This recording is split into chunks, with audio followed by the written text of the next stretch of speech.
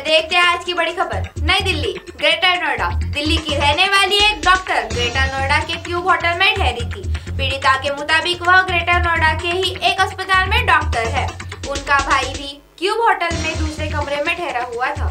शनिवार देर रात 12 बजे के करीब होटल के अन्य कमरे में रुके अज्ञात युवकों ने डॉक्टर के कमरे का दरवाज़ा खटखटाया और अंदर झांकने लगे।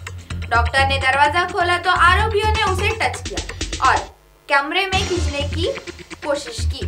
पीड़िता ने शोर मचाना शुरू कर दिया। शोर सुनकर बगल के कमरे में रुके डॉक्टर के भाई बाहर आ गए। उन्होंने छेड़छाड़ का विरोध किया तो आरोपियों ने उनकी पिटाई कर दी। पीड़िता के मुताबिक शराब के नशे में धूत आरोपी कमरे के बाहर दरवाजे पर जाकर कहने लगा कि, हमारे साथ बैठकर शराब पियो, क्योंकि देश में जश्न का माहौल है। हमारे साथ शराब पियो और मौज लो। आरोपी युवक होटल के दूसरे कमरे में रुके हुए थे। होटल प्रबंधन ने नहीं की मदद। युवती ने जब घटना के बारे में क्यूब होटल मैनेजमेंट से बात की तो उन्होंने पल्ला झाड़ते हुए कहा कि इस तरह की घटना होती रहती है। फिर पीड़िता ने मामले की सूचना पुलिस को दी। पुलिस ने शिकायत के आधार पर जाँच शुरू कर दी है। एक आरोपी के खिलाफ शांति भंग करने की कार्रवाई की गई है।